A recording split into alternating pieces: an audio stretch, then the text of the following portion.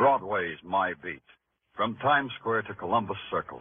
The gaudiest, the most violent, the lonesomest mile in the world.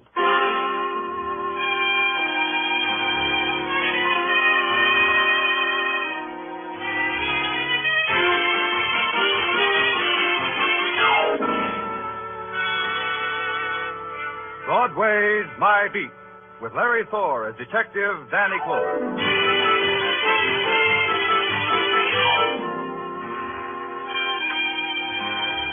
Broadway, where a pale and hungry girl walks like a queen because Broadway's a dream street.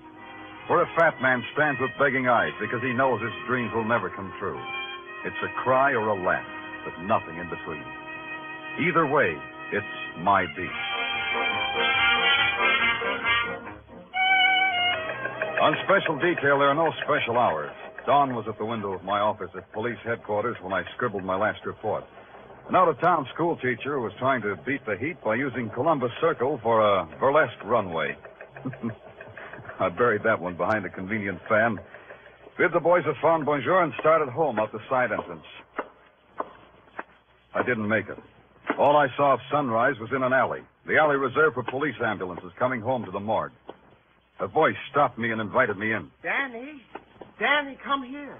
The man who stood silhouetted in the slice of light was a man who called himself Capek, the freelance photographer who hung around headquarters. You never knew he was there, but he always was. The quality of dawn, Danny. Who can hold it? Who can imprison it? It is the eternal enigma for a photographer. Why don't you go home then, Capek? What keeps you here? Uh, that ambulance, perhaps. Huh? You see, creative men like me have a devotion. It is always the same perfection. Everything neat and perfection. Oh, so that's what it is. Uh, watch that stretcher, Joe. Yeah, okay. Hiya, Danny. All right, what do you got, boys? Uh, suicide. Guy jumped in front of an 8th Avenue subway. I didn't know anything about it. Well, not your department, Danny. See you later. See what I mean, Danny? Hmm? Neat and perfection. The man they're bringing in, for instance. What's neat about him? That was Jimmy Dorn, a Cinderella man who only the other day won $17,000 on the Irish sweepstakes. What? You must have read about him. How no newspaper, no newsreel could get a picture of him. Yeah, I remember. He was shy. I liked him for that. But I have a picture of him. Oh? Hmm? Dead or alive? Alive, of course.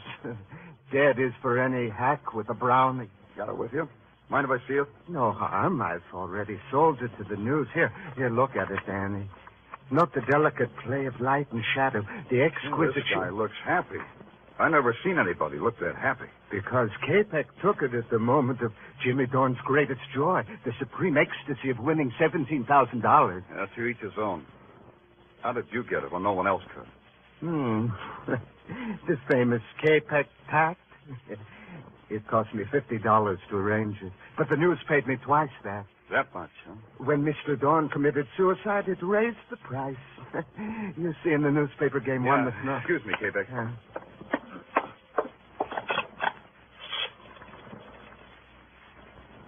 Danny Clover. Give me the dope on a suicide name of Jimmy Dorn. Yeah, I, know it's not my department. I'm nosy. Yeah. Yeah. Lily Dorn. Third Avenue. Okay, that's enough. You have to look, Danny. You smell something, maybe? Yeah, maybe. Be with you in a second, Capek. Hello, Benny. Danny Clover. That Jimmy Dorn suicide. Tell the chief I'm going to look into it. Yeah, Benny, yeah, I, I know, but it bothers me. Sure, I'll grab some sleep on the subway. I asked you, Danny, you smell something, maybe? Why should a guy let a subway train make his wife a widow with 17,000 orphan dollars? Why should all that sudden dough make him want to commit suicide? Mm, is it such a secret why men destroy themselves? Yeah, to me. It's not neat, Capek. It just ain't neat.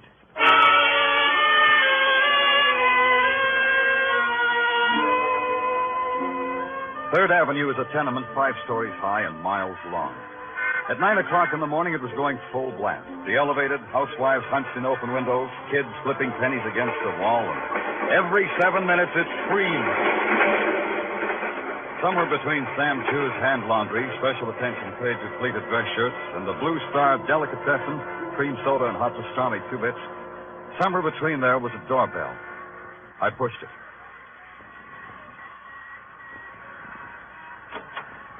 Yeah? What do you want? My name's Danny Clover. I want to see Mrs. Dorn. Suddenly, everybody wants to see Mrs. Dorn. Suddenly, I'm a popular lady. Suddenly, I'm I... from the police, Mrs. Dorn. You guys don't quit, do you? All right. Come on in. You want to know how it is to win $17,000? Is that what you want to know? Look, Mrs. Dorn, I'm sorry about your husband. Oh, sure. You can feel any way you like. Tell me about your husband. Jimmy, Yeah. I'll tell you about him. Jimmy didn't like people. He got afraid of them once, and he never got over it. Why? You know, I don't know. He was always running, and I ran with him. I was his wife, Mr. Clover.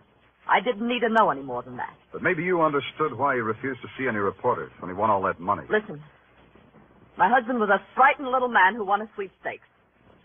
It bought him an obituary. That doesn't tell me much. This room tells me more. This rat hole. This room says that, doesn't it? Rat hole. I didn't say that, Mrs. Dorn. I'm talking about that circus poster on the wall. Patsy Mack presents the three whirling tornadoes. Was your husband a whirling tornado? You can go now, policeman. You said your questions. Now go. Brody, please. Why didn't you stay in that room? They can't do anything with us now. Come right on in, mister. Who are you? I'm a clever boy. I don't win sweepstakes, but I stay alive. Yeah, real clever. Now, what about this circus poster? It covers the cracks in the plaster. Three whirling tornadoes. Three men riding motorcycles in a barrel. Mrs. Dorn, for a frightened man, your husband made a dangerous dollar. Look, I told you all I know. Maybe you ought to get out of here. Why should a poster come between us, Mrs. Dorn? We were getting along fine. You heard the lady copper. She's saying she's finished talking. That's right, Mrs. Dorn? Yes. What did you say? I said that's right.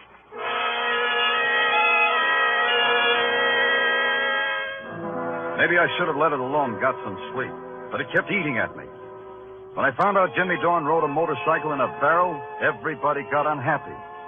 I don't like it when it gets unhappy. So I took a walk and found myself on Broadway in front of a tired building that has a lot of names. You take your choice. You walk up four flights and you get four offers. You're perfect for a fairy tale ballet that's opening in Newark. You make a stunning cover in a muscle magazine. Can you play first trumpet with a Bob Hawaiian outfit? If you got a song that's trying to be published, call it a slight fee, of course. And on the fifth floor, you find what you were looking for. The office of Patsy Mack, promoter, entrepreneur, and a dollar guy. It isn't Danny Clover. Hi, Patsy. You still pounding the stem, Danny? Aren't you ever going to be promoted? Promotion means a desk job away from Broadway. Who wants that? Yeah, I know what you mean. Can I give you something? Yeah, grape juice would be keen. I've got three fingers left of a bottle given me by a bearded lady who was enamored of my uh, social standing. It'll bring a smile to your lips. you drink it, Patsy, and thank her for me, Patsy. Send her a dozen blue roses, uh, or is it red roses for a bearded lady? Yeah, I'll do that. She'll appreciate it. She loves delicacy. Uh, don't they all? Patsy, tell me a story. Okay. Uh, now, let me see. Oh, have you heard the one yeah, about tell me the one about the three whirling tornadoes. the three tornadoes? what fond corner of your memory uh, clutched onto them? Tell me about them. Well, I don't remember much about them, Danny. They've been out of the business a long time. The three tornadoes, huh? Well, there were three of them. Thanks. There was no one else connected with them. Oh, no, no. The tornadoes ran their own carny. Toured the villages and the metropolises. Patsy, you got a reputation for remembering every act that ever played a circus or carnival. What were their names? Oh, you put me on my mettle, boy. Now, let me see. There was a, uh, let me see, Jimmy Dorn. Dorn. Yeah, I think. Oh, see. Could he be the one who ended up under a subway this morning? I'll look into it. Who were the others, Patsy? Well, there was a fellow named, uh, let me see now, a Russian kind of a name, uh, Danilov. Yeah, yeah, that's it. Joe Danilov. Joe Danilov. And the third? Oh, now you're pressing me, boy.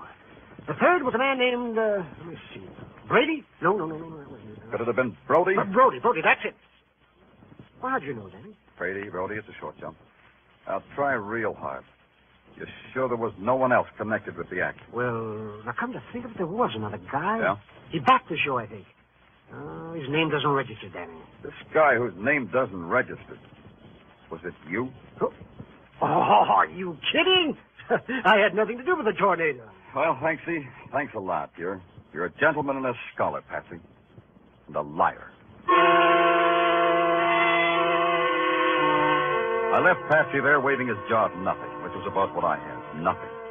An ex-carnival performer wins $17,000 and dies under the wheels of a subway train. They say he jumped.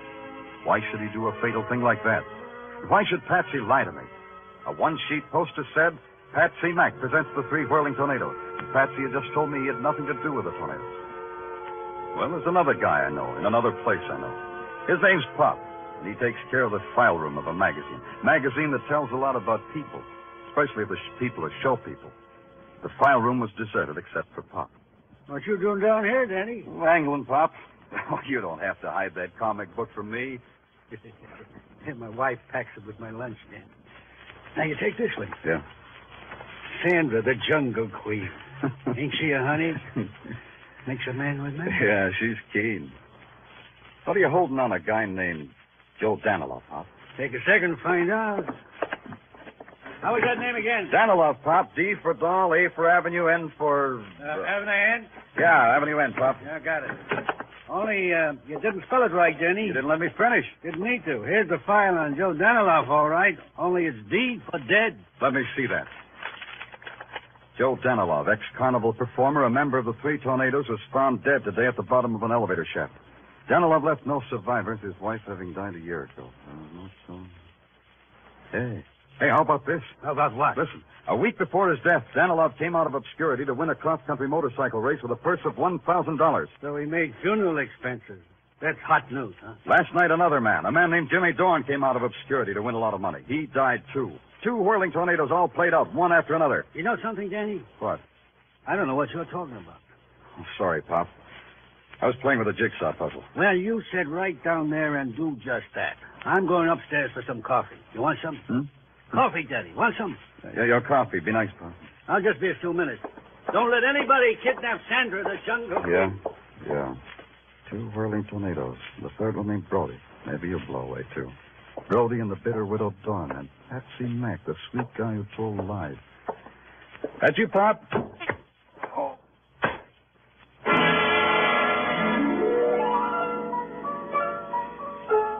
I never knew what it was that slugged me on the back of my head. It wasn't a comic book. And whoever did it wasn't Pop. Just before I hit the floor, I had a flash. It wasn't Sandra, the Jungle Queen, either.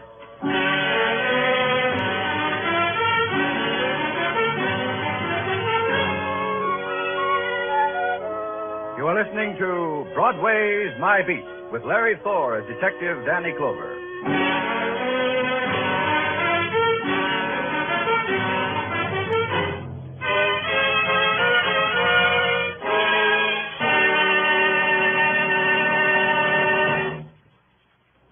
Paying guests mysteriously disappear. Two elderly spinsters who entertain them have a suspiciously rising bank account.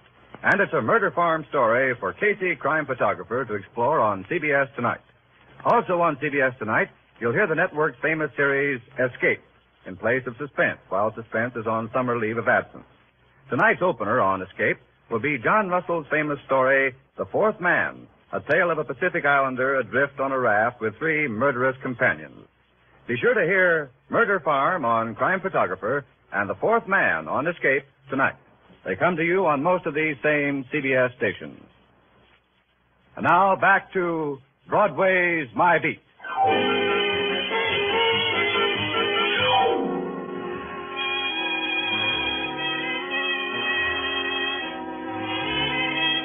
You win a lot of money, or die violently, or do both, and Broadway will know all about you. You get your name and your picture in the morning editions. Then Broadway won't care anymore. But I care. Maybe it's because I've got a cop's curious mind, but it bothered me why Jimmy Dorn died. So I made it my personal business. And so far, business was rotten. I was on my back when Pop brought me to. It took a little longer to find out that the press clippings I was looking at weren't around. Hmm, that's a new one. Rolled for some old press clippings. This needed thinking. To think a cop's got to eat. To eat, there's a classy sidewalk cafe on the corner of Broadway and 47th where you stand up to a hot dog and a cup of coffee that dares you. I threw a lump of sugar at it when someone tapped me on the shoulder. Hello, Danny. Mind if I join you? Oh, Capek, not at all. Grab a napkin. Danny, somehow you look unsymmetrical today. What happened to your head? I had it done over. Oh, you detectives, always intruding yourselves into violence and danger. Who did it, Danny? Person or persons unknown. Oh, you should go home and get some rest. Yeah, what about you, Capek? Don't you get any sleep either? Uh, I am a vain man, Danny. I've been waiting for the noon edition of the news to come out. It has the picture I took of Jimmy Dorn. Look at it, Danny. Yeah. Is it not a magnificent reproduction? Yeah, it's quite a picture. How'd you catch the expression? Uh, for an artist like me, it is a matter of precise timing. But somehow, I feel the caption beneath this picture is not right. What do you mean? I feel the caption should not read suicide. It should read murder. Oh? Makes you say that? I have captured death in my pictures for a long time, Danny. This is the face of a man whom death was about to touch with murder, not with suicide. You talk prettier, but you think like a cop. The elements for murder are three, Danny. A widow with $17,000, perhaps a boyfriend, and... Wait a minute, Danny. Where are you going? You haven't touched your I'm going to make yet? a call. So you can't eat first? Who calls on a rich widow with onions in his breath?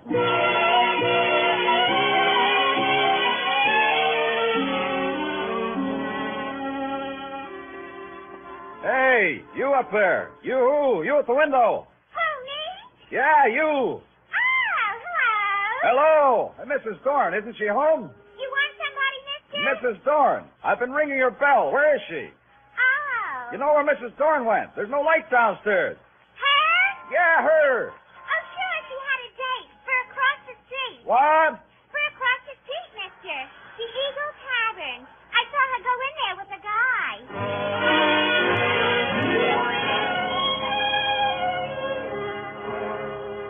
Eagle Tavern took up 40 front feet of sidewalk, and its insides were designed to take up thousands of man hours of loneliness.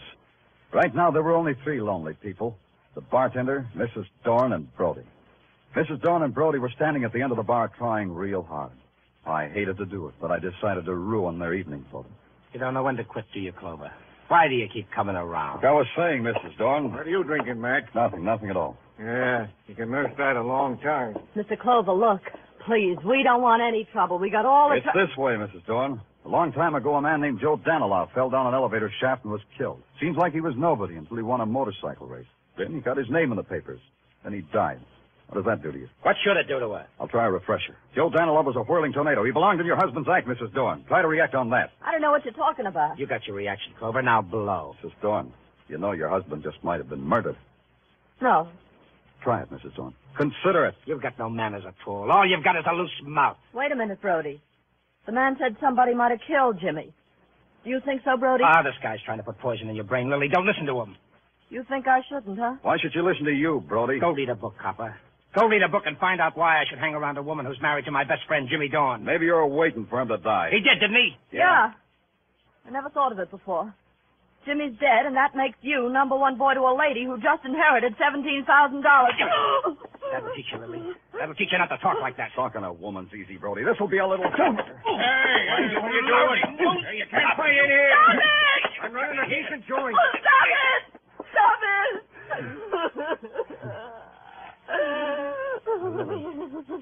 Lily, I'm sorry. Don't cry, Lily. Please don't. Talk to him, Brody. Tell him what he wants to know. Tell him what you never told me. What happened back there ten years ago? Why were you and Jimmy always hiding? Tell him, Brody.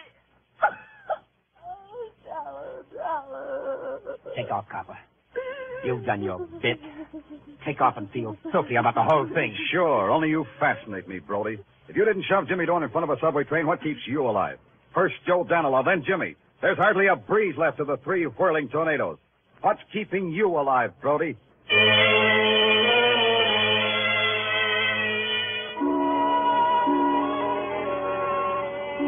Now there was a guy I just had to see. Capek. There was a chance he had taken more than one picture of Dorn. Maybe in the background I'd see a familiar face. Out in Sea Beach near Coney Island, I found the door with Capek's name on it.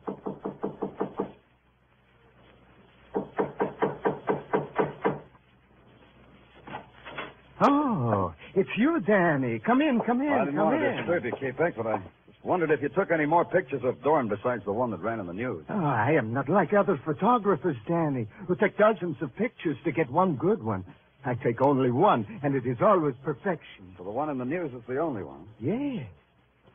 It, uh, it is important that there should be other ones? Uh, it might have been. Well, it's quite a gallery you have on the wall. Yes, yes. Come look, Danny, come look. This one, Danny. This this girl who looks like a tired angel on a lonesome street. Yeah, nice. And look, and, and this one, a derelict asleep in the gutter. It, it has the texture and the lighting of a Rembrandt, no? Now, Capek, a man of your talent could live in a penthouse with dancing. Why do you live here? hmm, I get some of my best results here. Yeah, everybody gets some. Hey, you must have got there fast for this picture. Oh, that one, yes. Well, you know my deal with the police. The minute anything violent happens, I go out with you. I get a picture. You get a body. Who was it? That is a man who was once Joe Danilov. Danilov, huh? Yes, I, I, I took this picture just after he fell down the elevator shaft. The mood of finality was magnificent. Very dramatic, Capek. Danilov was one of the three whirling tornadoes. Did you know that? So? Well, to me, Danilov was simply a man who fell down into space and died. The picture captures the sensation, don't you think?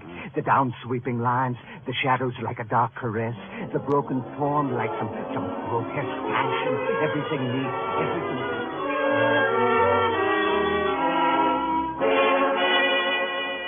I don't think Capek even saw me open the door and leave. It's a long subway ride and a transfer back to Broadway. Coming up from an underground of naked concrete into the blare of 49th Street, well, there's, there's a magic to it. I didn't have time to enjoy it. I had a job to do and a chance to take. And the chance paid off. Patsy Mack was in his office working late. Okay, Danny, so I lied to you about my connection with the tornadoes. And why not? First Joe Danilov, then Jimmy Dorn. Next, maybe me. Why should I take a chance? They were accidents, the people say. Oh, not just accidents. Danny, not that kind. Tell me, Patsy, why do you think you'll be next? I don't know. Looks like everybody connected with the tornadoes is written down in a little black book. Tell me more, Patsy. This time I'm leveling, Danny. Once I managed the tornadoes, but I dropped them like they were a basket of snakes. Why? What'd they do? Remember, I told you there was another guy, their backer? Yeah. Well, he got sick. He went to a sanitarium. While he was there, the tornadoes robbed him of everything he ever had. All three of them did that. Yes, Danilov, Brody, and Jimmy Dorn. Danilov and Dorn are gone. That leaves only Brody, plus the widow Dorn and 17,000 bucks. Were you ever in a sanitarium, Patsy? No. But they might put me away for slugging a cop.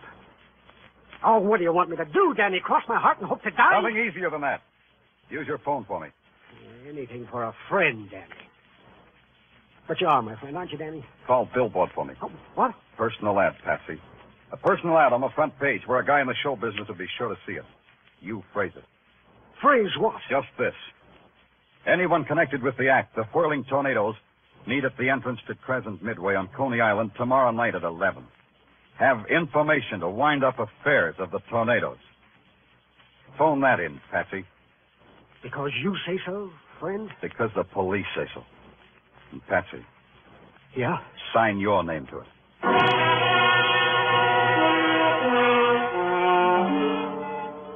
So I had it all set up.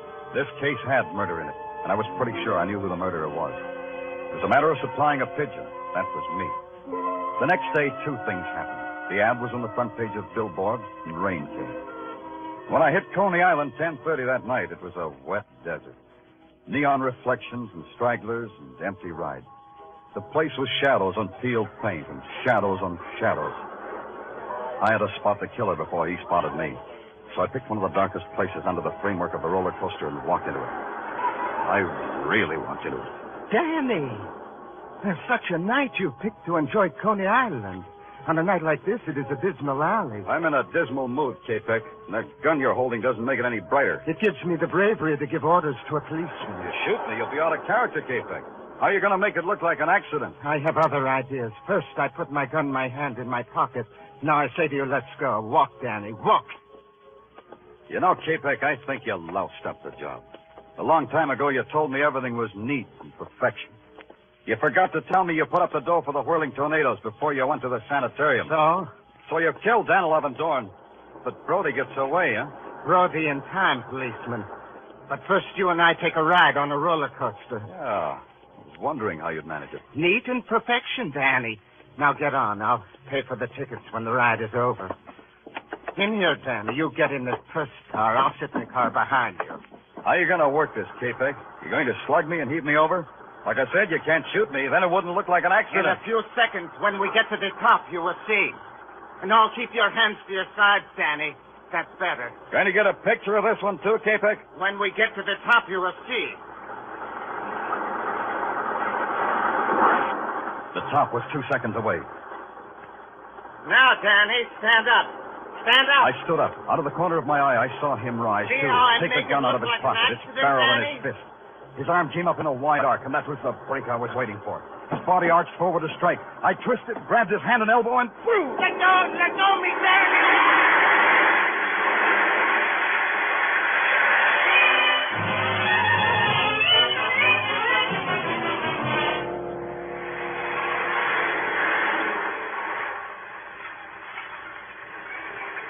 How long can a roller coaster ride last? Long enough. Long enough to piece together the jagged edges of some frightened lives. Danilov and Dorn murdered. Murdered because they crossed a twisted man named Capek. Brody and Patsy Mack hugging the shadows because they were afraid of Capek's revenge. And Lily Dorn with a handful of dust and dollars. You pay for the ride here, mister. Hey, you didn't take that ride all by yourself. Yeah.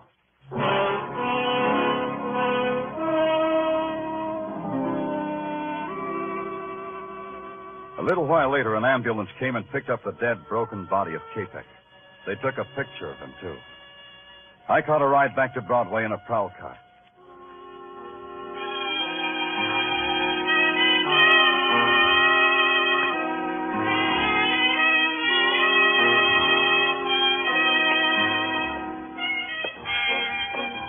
Stretches out in front of you, this street called Broadway, like a midway to some cruel and fantastic circus.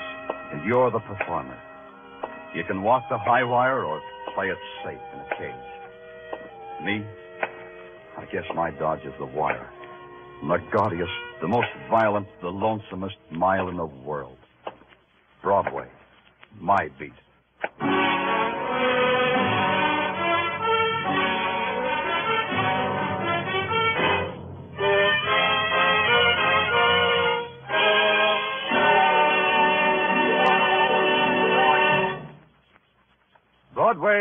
My Beat, with Larry Thor as Detective Danny Clover, is produced and directed by Gordon T. Hughes, with script by Morton Fine and David Friedkin. Musical direction is by Lud Gluskin. Be sure to join us again next week, same time, same station, for Broadway's My Beat.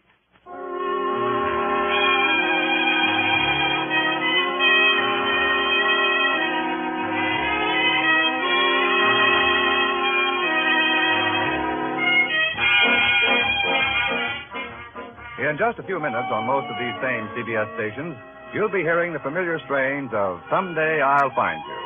And the action, as you know, starts with Mr. Keene, the famed tracer of lost persons. A top rating detective throughout radio's fall, winter, and spring seasons, Mr. Keene will be on hand all summer.